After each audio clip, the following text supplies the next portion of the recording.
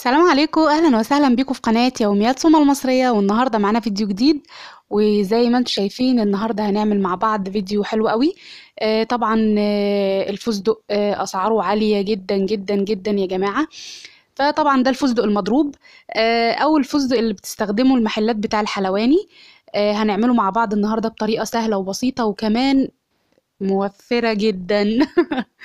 عشان خاطر آه، الفستق أسعاره عالية و300 و400 وحاجات غريبة. بسهولة وببساطة وأنتوا شايفين شكله أهو مش هتفرقوه عن الطبيعي خالص.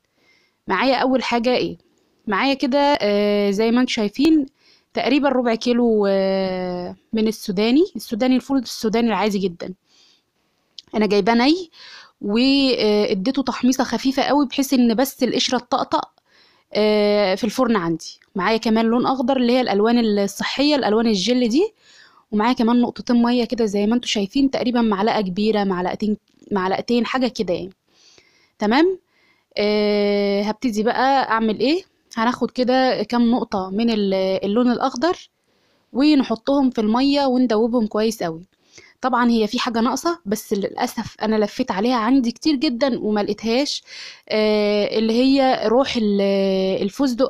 الطعم ده أو النكهة دي بتبقى إزازة صغيرة جدا كده ب 2 جنيه ب 3 جنيه يعني. آه بعد ما دوبناهم كده زي ما أنتم شايفين هبتدي بقى أنزل. ان أنا ما لقيتهاش عندي فقررت إن أنا أعمله معاكم بس هقول لكم المعلومة في وسط الفيديو. إن أنتوا لو لقيتوه في أي محل عطاره عندكم هتلاقوه في ال- ال- العطارة الكبيرة أو آه، ممكن تسألي عليه آه، تقول لهم عايزة أروح فستق أو ريحة أو نكهة الفستق. إزازة صغيرة قوي كده بتلاتة جنيه تقريبا.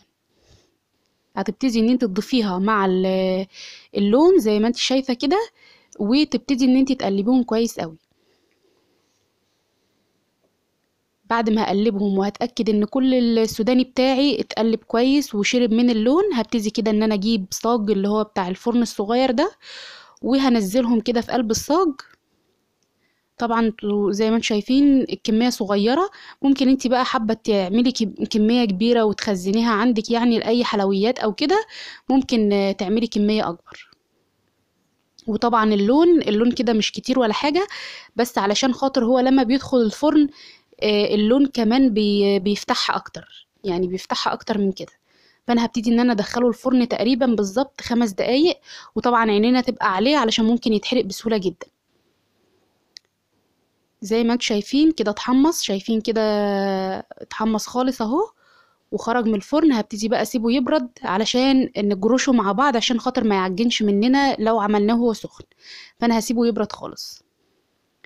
كده بعد ما برد هبتدي إن أنا أجيب الكبة الكبة اللي هي بتاعه ال- الجرش يا جماعة مش بتاعه الطحن. الكبة اللي هي فيها حاجات كده زي خروم كده ديت بتاعه الجرش اللي هي الحاجات ديت السوداني والمكسرات والحاجات دي. فأنا هبتدي أنزل كمية كده ونجرشها كده مع بعض على طول. نقفل كده. طبعا هو ما كلفناش كده يا جماعة أي حاجة من التكلفة الأصلي بتاعته. الفاكهة دي يبقى خير وبركة يعني أنتوا كده يبقى أنتوا كده عملتوا بجد فستق آه ريحة وشكل بالظبط شبه ال- الحقيقي. نبتدي بقى نضرب وزي ما أنتوا شايفين بوريكم بضرب إزاي. أنا بضرب تكة وأرجع تاني. بضرب تكة وأرجع تاني علشان خاطر أنا مش عايزاه يعجن ومش عايزاه يبقى عم... يبقى معايا عجينة. فالتكة وارجع تاني دي علشان خاطر يبقى مجروش كده زي ما أنتوا شايفين. شايفين بقى؟ مجروش كده. ومش بودرة. وهو ده اللي أنا عايزاه بالظبط. هبتدي إن أنا أخلص كل الكمية واوريه لكم شايفين بقى شكله؟ تحفة يا جماعة. وبالظبط بالظبط نفس ال- الشكل بتاع الفستق الطبيعي. آه وكمان آه هينفعنا. وكمان آه مش غالي. وبكده الفيديو بتاعي النهارده يكون انتهى. أتمنى يكون الفيديو بتاعي النهارده كان سهل وبسيط وخفيف على قلوبكم ويكون عجبكم. ولو عجبكم الفيديو بتاعي بقى النهارده like و share و subscribe وهستنى تعليقكم الجميل. تقول لي إيه رأيكم في النصبايه اللي أنا عملتها دي. آه، وآخر حاجة أقولها لكم السلام عليكم ورحمة الله وبركاته.